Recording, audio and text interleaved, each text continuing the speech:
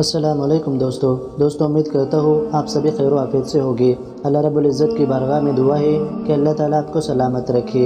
मेरे प्यारे दोस्तों, आज हम आपको एक ऐसे जुल्म से रूबरू कराने वाले हैं, जिसे सुनकर आपके रोंगटे खड़े हो जाएँगे, जो भी हाल में ही राजस्थान के अंदर पेश आया है। जी हाँ दोस्तों, मैं बात कर रहा हूँ जुनेद और नासिर भाई की। जी हाँ दोस्तों, आइए आपको बताते हैं कि पंजाब के शाही इमाम ने इसके मुतालिक कौन सा बयान जारी किया है। चलते बात जहन में आई कि अभी टर्की में जलजला आ गया और सीरिया में। मुझे बहुत सारे लोगों ने कहा कि वहाँ कुछ भेजा जाए। तो मैंने उन्हें कहा कि वहाँ की मुसलमानों की जो हुकूमत है टर्की की, वो तो माशाल्लाह नाटो की मेंबर है। ताकतवर लोग हैं, अल्लाह ताला उनको इस परेशानी से निकाल दे, लेकिन इस दौरान बड़ी हैरत हुई जो हमारी सरकार है यहाँ। जैसे ही टर्की में जलजला आया तो फ़ौरन हमारे पूरी दुनिया के अलग अलग देशों से वहाँ मदद के लिए हर देश ने अपनी फौज के लोग वहाँ भेजे। हमारे वाले भी, माशाल्लाह, दस घंटे में वहाँ पहुँच गए। तो मैं तो सरकार को बस इतना कहना चाहता हूँ कि टर्की और सीरिया में जो जलजला आया, वहाँ मुसलमानों की आबादी ज़्यादा है, वहाँ मुसलमान जो दब गए मलबे में, उनको निकालते हो और मेवात में जुनैद और नासिर जैसे मजलूम मुसलमानों के साथ जो ज्यादती होती है, उनको ज़िंदा जलाया जाता है, उनकी रीढ़ की हड्डियाँ तोड़ दी जाती हैं, उसके ऊपर खामोश तमाशाई बने रहते हो, तस्वीर के ये दो रुख किस तरह बनाते हो? अपनों के ऊपर जुल्म है? हुकूमत के इदारों को नज़र नहीं आया कि जिन दो मजलूम बच्चों को कत्ल किया गया, सिर्फ़ इसलिए कि शक की बुनियाद के ऊपर आज भी लोग वहाँ गाँव में बैठे हुए रोज़ाना एहतजाज कर रहे हैं।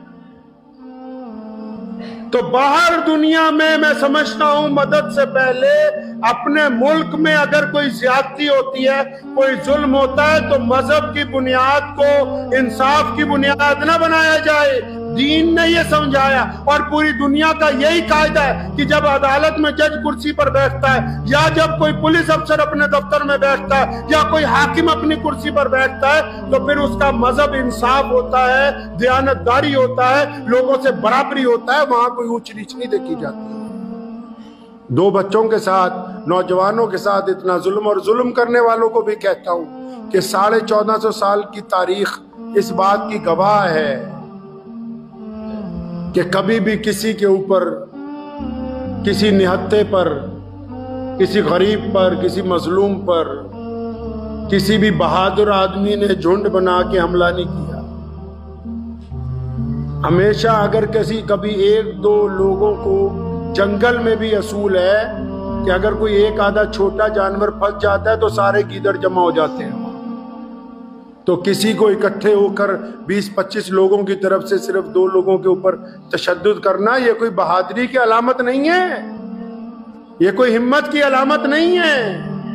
ये नाइंसाफी है जुल्म है।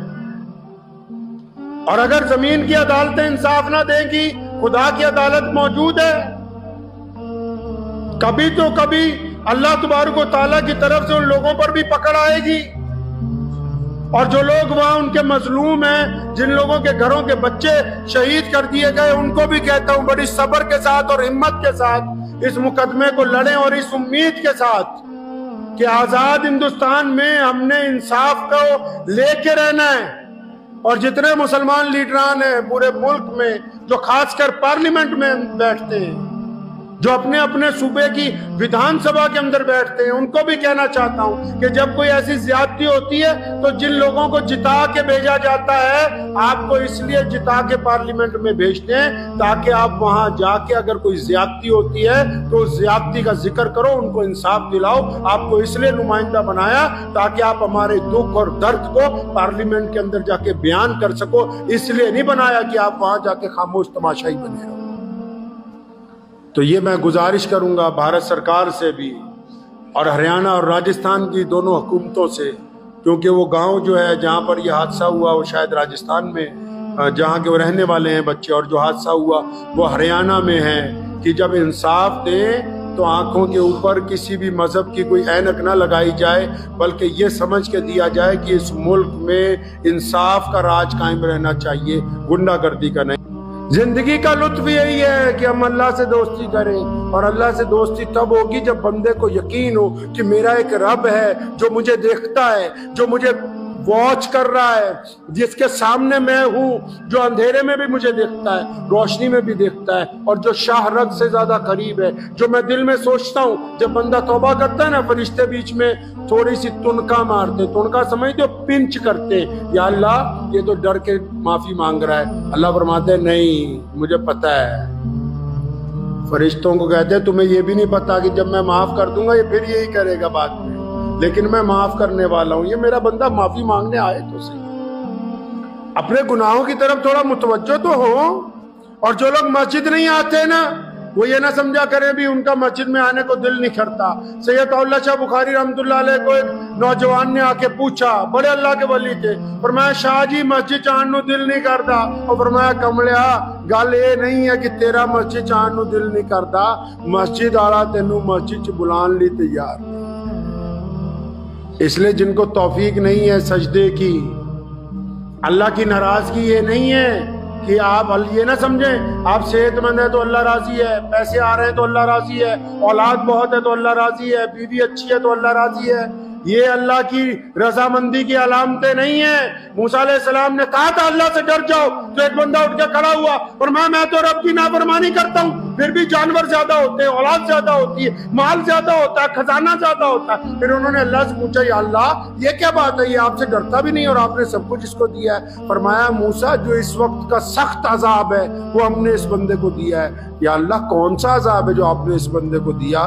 फरमाया, मूसा, जो दुनिया का सख्त अजाब है, वो इसको दिया है। या अल्लाह, वो कौन सा अजाब है? फरमाया, मूसा, हमने इस बंदे से सजदे की तौफीक छीन ली है। इसको सजदे से महरूम कर दिया है।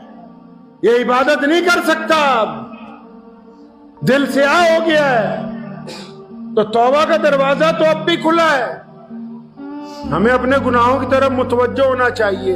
अपने रब की मोहब्बतों की कदर करना चाहिए। और याद रखें, एक माँ अपने बच्चे से कितनी मोहब्बत कर सकती है? फिर भी वो एक दफ़ा परेशान हो जाती है। वो रब है जो सत्तर माओ से ज़्यादा प्यार करता है, अपने रब की तरफ़ लौट के आइए, अपने रब से माफ़ी मांगिए, अपने रब को रात को पुकारिए, अपनी जरूरतें अल्लाह से कहिए, अपनी बातचीत सारा दिन अल्लाह से कीजिए। दूसरों से मांगने से पहले रब से मांगिए। अपनी जो आने वाली प्लानिंग है, उसका मशवरा अल्लाह से कीजिए। तमाम गुफ्तगु जो है, जब चलते फिरते, उठते बैठते अपने रब को बार बार पुकारेंगे, अगर एक सुई भी गुम हो जाए, उसका सवाल भी अपने रब से करेंगे तो अल्लाह दुनिया में भी इज़्ज़त के रास्ते खोल देगा और आखिरत में भी खोल